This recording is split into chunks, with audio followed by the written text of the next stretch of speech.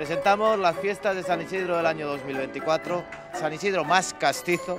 que hemos preparado para disfrute de todos los madrileños entre el 3 y el 15 de mayo.